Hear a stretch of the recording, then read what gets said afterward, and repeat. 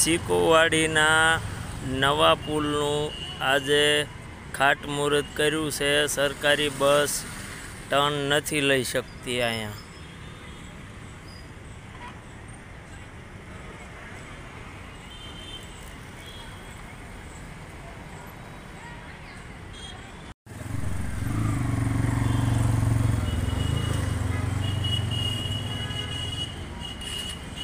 સિકોવાડીના નવા પુલનું આજે ખાટમુહૂર્ત કર્યું છે. સરકારી બસ ટર્ન નથી લઈ શકતી અહીંયા.